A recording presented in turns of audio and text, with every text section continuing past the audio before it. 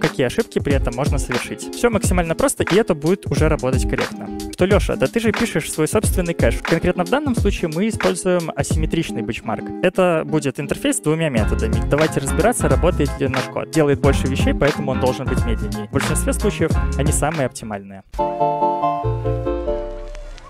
Хей, hey, ребята, всем привет! Меня зовут Алексей, и я рад приветствовать вас на канале MGC. Давненько я вам не рассказывал про какой-то технический топик, поэтому в этом видео мы будем это исправлять. В одном из прошлых видео я уже рассказывал вам про блокировки в языке Java, какие они бывают, как их использовать и когда. В том же видео я спрашивал вас, интересна ли вам тема многопоточности, и было два комментария, которые дали четко понять, что эта тема действительно вам интересна.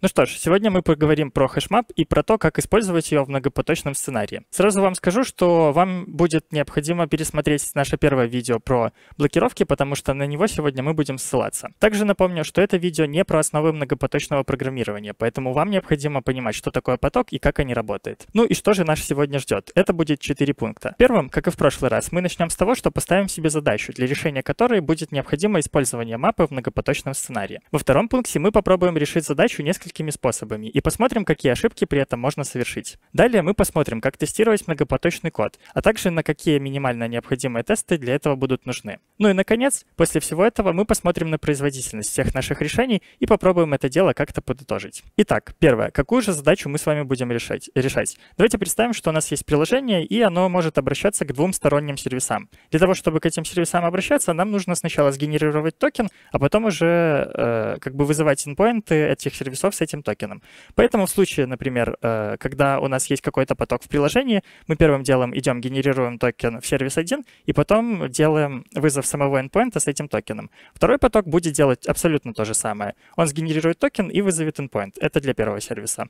Со вторым сервисом ситуация точно такая же. Если генерации токена у нас очень много, то есть смысл на стороне нашего application сделать специальный класс token holder. В этом случае э, каждый поток нашего приложения будет обращаться сначала к token holder у, он в случае необходимости будет вызывать нужный сервис, чтобы сгенерировать токен, и будет возвращать нам токен, с которым мы уже будем вызывать endpoint ы в наших сервисах.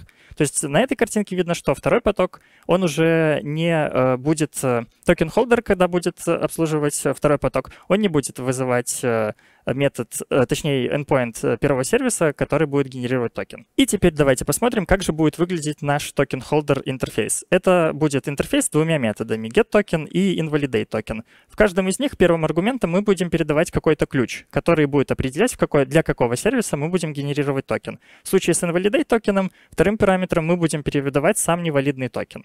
И работать наш token holder будет по запросу. То есть если мы его не вызываем, метод getToken мы не вызываем, то новый токен генерировать генериться не будет. Итого, мы уже понимаем, что наш интерфейс token holder должен хранить несколько токенов, где ключом будет какое-то какое значение, которое определяет, для какого сервиса этот токен содержит. Интерфейс, который хранит пары ключ-значения, в Java называется map. Так как у нас нет каких-то специальных требований того, какое именно мапа у нас должна, то мы будем просто использовать самую популярную имплементацию HashMap. Прежде чем начинать решение для многопоточного сценария, давайте сначала рассмотрим, как бы мы решали эту задачу, если мы точно знаем, что э, этот код будет работать в однопоточном сценарии. В нашем э, имплементации нам нужен э, function, который по какому-то ключу будет возвращать token response. Token response — это маленький класс, который содержит сам токен и время, до которого он будет валиден. Также у нас есть э, мапа, которая, как вы видите, HashMap а, где мы и храним наши токены. Имплементация метода getToken максимально проста.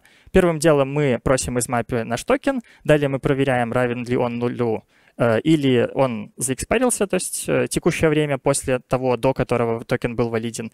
И если это действительно так, то мы обращаемся к нашей function, где просим по ключу сгенерировать новый токен. После чего мы этот токен кладем в мапу и его же возвращаем. Метод invalidate token также очень прост. Мы достаем из мапы наш токен. Если он там действительно есть и он действительно равен тому токену, который мы передали, то мы просто удаляем его из мапы. Теперь давайте рассмотрим, как эту задачу можно решить уже для многопоточного сценария. Самым простым и самым э, наивным способом будет просто сделать э, все методы э, имплементации token holder synchronized. В этом случае мы заэкстендились от только что заимплементированного токена и просто все методы пометили synchronized. Какая же здесь проблема? Проблема здесь в том, что объектом синхронизации будет являться сам объект токен холдера. Если мы будем, например, запрашивать токен для двух разных сервисов, то эти методы будут блокировать друг друга. То есть сначала сгенерируется токен для первого сервиса, а потом для второго. Хотя, по сути, мы можем генерировать их параллельно. Первой и наивной попыткой решить данную проблему будет воспользоваться специальным утилитным методом класса collections synchronized map. В этом случае мы передаем туда какой-то наш map и получаем мапу, которая уже будет синхронизована. Если мы будем ее использовать в с тем же кодом, который мы до этого писали для нашей изначальной не многопоточной имплементации токен-холдера, то работать она правильно не будет. Почему? Потому что у нас есть два действия get и put. Мы не можем полагаться на результат, который мы получили из метода get перед тем, как сделать э, put в мапу, потому что значение могло поменяться. То есть данный код некорректен с точки зрения синхронизации. Чтобы починить его, мы можем воспользоваться специальными новыми методами, которые добав... были добавлены в интерфейс map после 8 Java а именно compute и compute в present. В этом случае мы вызываем только один метод на мапе, и он будет корректно синхронизирован. Как же работает метод compute? Мы отдаем туда ключ и функцию, которая b-function, которая в качестве первого аргумента отдаст нам наш же ключ, а в качестве второго аргумента это будет текущее значение, которое лежит в мапе. В случае, если оно равно null, или это уже заэкспаренный токен там лежит, то мы возвращаем результат вызова нашей function э, с нашим ключом. И этот результат будет добавлен в мапу. В же случае мы возвращаем current token, потому что он все еще валидный, мы можем им пользоваться. Метод invalidate token будет э, работать с помощью метода compute if present. В этом случае мы передаем также ключ и передаем BiFunction, где первым аргументом у нас этот же ключ, а вторым то, то значение, которое сейчас лежит в мапе. При этом вызываться эта функция будет только если э, в мапе по данному ключу какое-то значение есть. Здесь мы также смотрим, если это наш невалидный токен, то возвращаем null. В случае, если в методе compute if present в BiFunction мы возвращаем null, то э, compute if present просто удалит этот ключ из мапы. Все максимально просто, и это будет уже работать корректно. Теперь объектом синхронизации стала сама мапа, что означает, что любая операция над ней блокирует работу всех потоков над этой мапой. HashMap, с которой мы работаем, устроена так, что у вас есть массив элементов, называемых бакетами, и в них может находиться связанный список элементов, которые были помещены в мапу. В принципе, ничего нам не мешает блокироваться на каждом элементе данного массива, чтобы можно было действительно параллельно работать с этой мапой. Именно так и делает класс Concurrent HashMap. В данном случае в новой имплементации нашего токена мы используем именно его. И самым правильным способом работы с мапой будет использование как раз-таки concurrent hashmap. В этом случае первым делом мы делаем get на мапы, чтобы посмотреть, какой токен у нас есть. Далее мы делаем проверку, и теперь вместо того, чтобы просто э, добавлять в мапу наш элемент, мы пользуемся метод compute, который будет корректно работать в concurrent хэшмапе, даже если, это дел... даже если он выполняется из нескольких потоков. И в него мы отдаем наш ключ, а также функцию, в которой первым аргументом мы получим тот же самый ключ, а во второй текущий токен. Здесь мы делаем проверку условий еще раз, потому что э, условие может измениться, например, в другом потоке. И в зависимости от э, данного условия мы либо генерируем токен, либо возвращаем тот, который уже есть в мапе. Также стоит помнить, что если вы разрабатываете какое-то приложение, почти наверняка вы еще в момент разработки уже знаете, со сколькими сервисами вы собираетесь интегрироваться. В этом случае можно попробовать э, использовать э, unmodifiable map с э, ключами, которые, собственно, наши токены и содержат. Так мы и поступили в данной имплементации. Здесь мы используем все тот же function, который может нам сгенерировать токены, и указываем э, непосредственно массив ключей, которые могут быть доступны. В этом случае мы используем э, имплементацию токен-холдера, которую мы делали в прошлом видео, которая была самой э, лучшей по всем показателям. Это Stamped Optimistic Lock Token Holder. В таком случае имплементации методов getToken и InvalidateToken максимально просты. Так как мы точно знаем, какие ключи у нас э, были, какие у нас есть, то мы просто делаем get у мапы, мы точно знаем, что значение там есть, и просто вызываем методы getToken и InvalidateToken. Так, у нас уже куча имплементаций, которые мы написали. Нужно начинать уже с ними что-то делать. Но внимательный зритель посмотрел на все это и сказал, что Леша, да ты же пишешь свой собственный кэш, почему бы тебе не воспользоваться уже готовыми имплементациями? В принципе, ничего нам не мешает. Давайте попробуем воспользоваться стандартными имплементациями кэша в Java. В качестве первой имплементации вы возьмем э, кэш, который позиционирует себя как самый быстрый из тех, что доступен Java. Это Caffeine. В этом случае в нашем э, конструкторе мы просто будем делать новый кэш. Э, здесь такая особенность, что в наших предыдущих имплементациях мы, в принципе, э, смотрели на то, до какого времени будет жить токен, и как бы после того, как это время истечет, мы генерировали новый. В случае с кэшем стандартным, который доступны в Java, мы не можем так поступить, нам нужно заранее указывать, сколько э, наш ну, наше значение в кэше будет жить, поэтому нам нужно также указывать параметр TTL. То есть после э, того, как мы добавим какое-то значение в кэш, оно после этого времени э, исчезнет.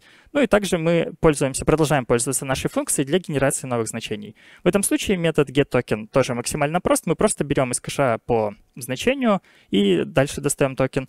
Э, в случае с invalidate токеном мы не можем э, взять и инвалидировать какое-то конкретное значение в кэше. То есть мы просто всегда, безусловно, по ключу инвалидируем значение. В качестве второй имплементации кэша мы возьмем самый популярный, наверное, э, библиотеку, которая есть в Java, это Guava. Там тоже есть своя имплементация кэша, которая, по сути, имеет все те же самые параметры, и работает абсолютно точно так же, как кофеин кэш. Так, ну теперь уж точно все. Давайте разбираться, работает ли наш код. Для этого мы будем писать юнит-тесты. Так как в наших имплементациях токен-холдера есть какая-никакая, но логика, нам, конечно же, нужно написать просто самые обычные юнит-тесты, которые не тестируют никаких многопоточных сценариев, а просто проверяют, что написанная нами логика верна. Так, например, у нас есть тест, который проверяет, что после вызова метода invalidate мы сгенерируем новый токен. То есть здесь мы мокаем ответ э, нашего function а, получаем токен, потом вызываем invalidate токена, который мы действительно получили, э, вызываем заново метод getToken и проверяем, что наш function вызывался два, два раза. Но при этом в юнит-тесте нужно также попробовать и протестировать многопоточный сценарий. Для этого у нас есть следующий тест. Здесь мы создаем runnable интерфейс, который будет просто вызывать метод getToken. Запускаем два потока, при этом используем такую штуку, что у нас есть два countdown лоча, где один из которых мы э, вызываем в наших ранеблах, то есть они будут вызываться из другого потока. А в первом мы будем э, сначала в main потоке, мы будем э, ждать, пока стартанут все наши потоки, после чего мы в самих потоках, которые запустили, будем ждать, что наш э, основной поток дошел до этой точки. То есть в этом случае мы как раз-таки вот вызов метода getToken делаем максимально конкурентным. После чего мы джойнимся на потоки и смотрим, что у нас нет никаких ошибок, а все полученные токены — это действительно наши токены. То есть вот последний тест, который вы сейчас видите, по сути, он уже проверяет многопоточное выполнение, но он проверяет его всего лишь один раз. И по-хорошему, чтобы отловить какие-то ошибки э, в вашей многопоточной программе, его нужно, данный тест нужно заранить очень много раз.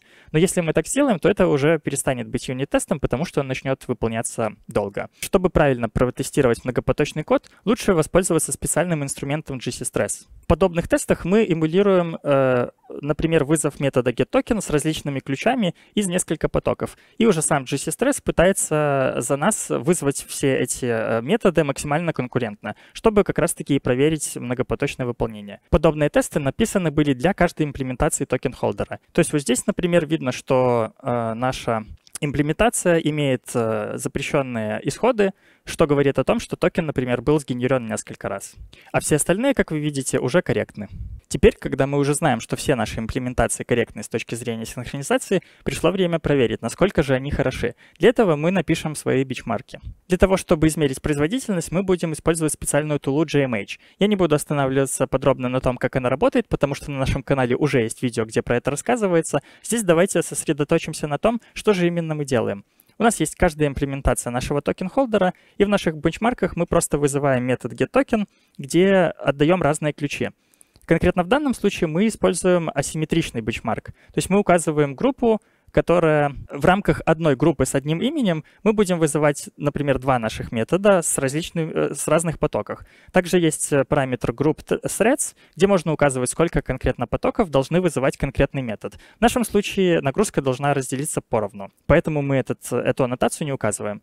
И просто вот в каждом из таких методов мы вызываем метод getToken для двух ключей. Давайте же посмотрим, что у нас получилось в результате. Результаты получились следующими. Имплементация, где мы использовали просто synchronize над методом, она достаточно медленная, но при этом, что самое интересное, э, вариант, где мы использовали синхронизацию самой мапы, которая вроде как должна работать чуть-чуть побыстрее, она оказалась еще более медленной. Э, медленной. В данном случае мы использовали мод э, throughput, что значит, что это пропуская способность, то есть значение чем больше, тем лучше. В случае, когда мы использовали concurrent hashmap, значения получились ну, точно очень в 6 раз превосходящее, когда мы используем синхронизацию. Это достигается за счет того, что мы действительно параллельно можем генерировать ключи для двух разных сервисов, например. Наша имплементация с unmodifiable мапой получилась не такой быстрой, как с concurrent hashmap. Это достаточно интересно, потому что я на самом деле так и, и не понял, зачем. Э, почему так? Потому что по идее, э, так как мапа у нас unmodifiable, то она должна работать быстро, так как мы, ну, точно знаем, что мы не можем добавить новых элементов в мапу. Ну и с точки зрения кэшей, которые мы использовали, Kefin кэш, как ни странно, оказался даже быстрее, чем concurrent hashmap, которую мы использовали, что тоже удивительно. Я думал, что кэш, он э, как бы делает больше вещей, поэтому он должен быть медленнее. Но нет, видимо, они очень хорошо все это прооптимизировали, и значения получились самыми э, высокими. А вот гуавовский кэш получился хуже, чем просто concurrent hashmap. Поэтому в этом случае, если вы собираетесь использовать кэш, то, конечно же, стоит использовать Caffeine кэш. Также, когда я э, готовился к этому видео, я нашел в Caffeine кэша достаточно интересный паттерн использования, когда у нас есть volatile переменная, и если нам нужно, э, ну, то есть мы точно знаем, что у нас больше чтений, чем записей, мы всегда читаем эту volatile переменную без каких-либо блокировок, а если нам нужно будет ее обновить, мы понимаем, что нам нужно ее обновить, мы это делаем с блокировкой. В принципе, это очень интересный паттерн для сценария, который был в нашем прошлом видео, когда мы в токен-холдере храним только один э, токен и его же потом используем. Поэтому давайте попробуем сделать то же самое для задачи из прошлого видео. Тогда я напомню, у нас был в качестве э, полей э, класса э, supplier, который, собственно, генерирует нам токен, все те же часы и текущий токен. И в данной имплементации мы сделали это обычным полем с модификатором volatile. Как будет выглядеть в этом случае метод getToken? Первым делом мы делаем volatile read, получая в э, локальную переменную э, наш токен. Далее мы проверяем, э, присутствует он или не, не истек. То есть, по сути, та же самая проверка, как мы везде делаем. И если, это, если этого токена нету или он уже заэкспарился, мы его вызываем синхронизированный метод, где мы опять делаем чтение volatile переменной, опять проверяем условия и уже, если оно все еще верное, генерируем новый токен. При этом делаем volatile write. И этот токен мы возвращаем. Э, зачем как бы делать еще раз volatile чтение и зачем проверять еще раз э, условия? Так как мы, в принципе, этот метод можем вызвать из нескольких потоков, то мы в каждом, как бы уже заблокировавшись, в каждом потоке мы должны еще раз проверить условия, чтобы не сгенерировать токен дважды. Метод invalidate token, по сути, весь сводится к вызову synchronized метода. Ну и давайте же посмотрим, стала ли данная имплементация лучше, чем э, те, которые были до этого. Для этого мы воспользуемся старыми бенчмарками, которые мы уже делали, и добавим туда просто наш новую, нашу новую имплементацию токен-холдера. И как вы видите в сценарии, когда мы э, достаточно часто нам необходимо генерировать новый токен, то все равно как бы э, данная имплементация является по производительности самой лучшей и самой быстрой что как бы неудивительно, потому что, по сути, все свелось к тому, что в большинстве случаев мы, по сути, делаем только один volatile read. И также мы в том, э, тогда проверяли случаи, когда мы вообще не генерируем новый токен. То есть э, все вызовы метода getToken будут сразу возвращать токен, э, который уже есть.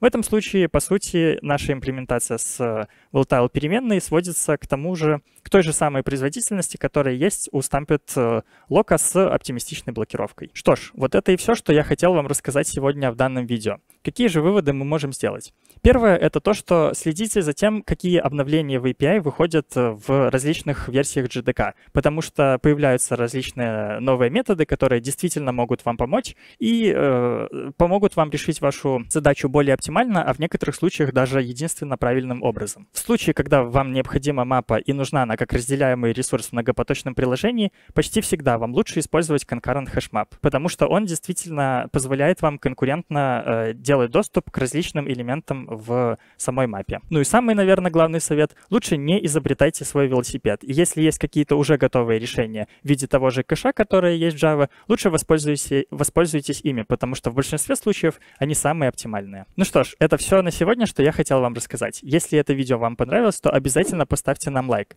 Также напишите в комментариях, узнали ли вы что-нибудь новое и хотите ли вы еще видео про многопоточность. Ну а на этом все. Еще увидимся.